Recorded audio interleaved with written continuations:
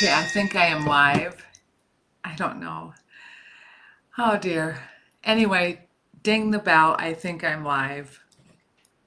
I think I'm live now. Anyway, I tried this on YouTube tonight and for some reason it did not work. So welcome to Ding the Bell. This is Sundays. I am Colleen Liz Frost and I am your coach for the seven days and I have a problem and I'm putting it on the table. And this is what we do.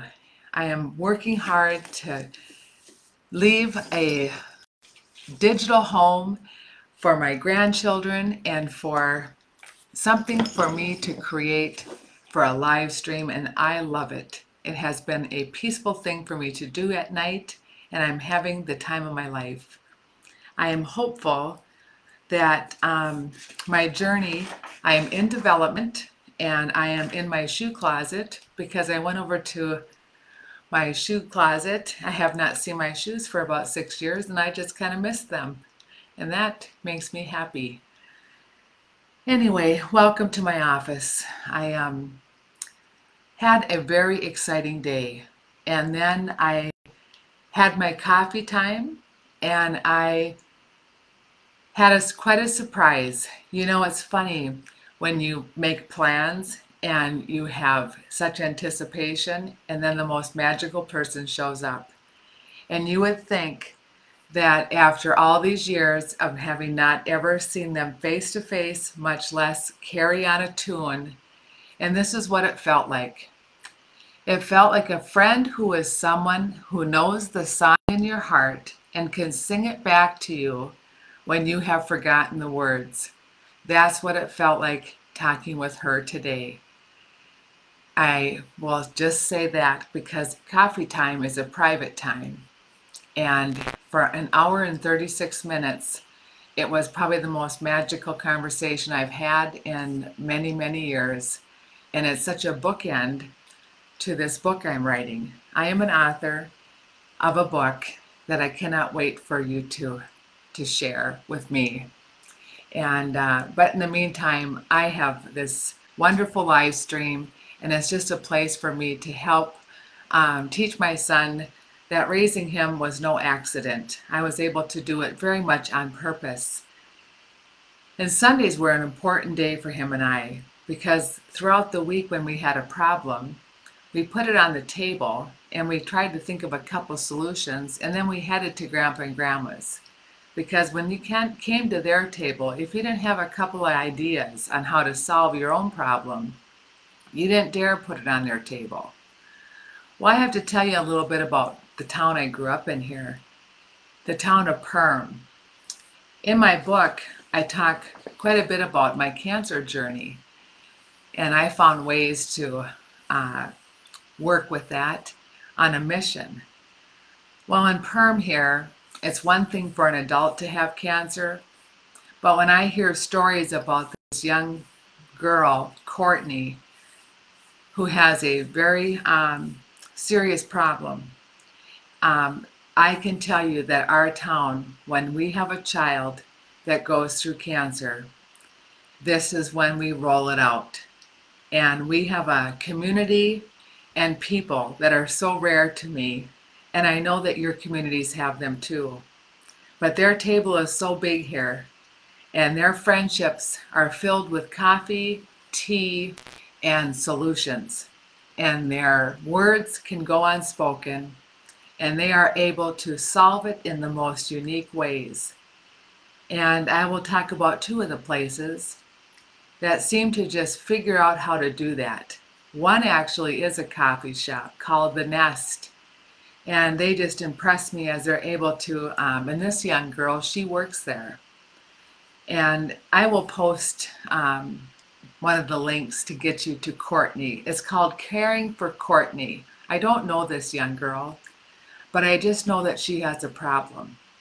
And my goal with my seven days is that if you have a mission i hope that you bring it to my table. Because if my voice can help bring your mission to somewhere out there, and maybe one person can bring you a solution, whether it be financially or with an idea on how to bring a new plan to help you, then that's what I, I'm hopeful to do. So the Nest has um, their fundraiser has ended, but I'm sure they have would be willing to talk with you. But I want to tell you about my Pete, Becky, and Caleb. They have my New York gym, and Pete happens to be one of my Club 33 members. And uh, he has come up with a workout. It takes place this March 17th, and I just saw it tonight, and it is my personal gym. And so I'm going to look into it this week. And you don't have to be super healthy to participate. You can just uh, donate to the workout. And uh, this young girl needs our help. And in Perham, we all step forward the best that we can, whether it be in prayer or financially. But these people got it going on. And this is why I love talking about uh, the Ding the Bell days because I had a mission and I found my mission in Staples, Minnesota. And these people also know how to do things like this. And there's some pretty strong people over there, and they've impressed me. And so we are proud to be from where we're from. And I would like for you to share some of the tools and tips that you've learned out there in your communities. And maybe I can visit you through the Zoom or someday for real. And that's what Sunday's about. So thanks for listening and thanks for being a part of my seven days. Um, lastly, I always say that. It's one of my favorite words. I hope that you get a chance to think about becoming a preservationist. When we were young growing up, there were three ways to communicate. You can communicate about your past, you can communicate about your present, and you can communicate about your future. And my mother would say, don't get hung up at any one place too long. She said you had to have a balance. So I want to make sure that Courtney has a chance at what she's fighting today. Because these young people that we are walk, so grateful to walk amongst are our future. And I just, I, my heart just goes out to the young people. You know, when you're older and fighting these things, you know, you have to die of something. But when these young people get this, it's um, the end all for me. And that's why I, I care so deeply for these young people. I wish I could do more. But I do have a voice out there now on this internet. So I, I thought it was a good thing to focus on tonight. And I had coffee with a person and it it does put a whistle in your step. So thank you for tonight. And remember me and on these videos if you'll do a little thing for me and that's to hit the like button. That would make me uh, smile.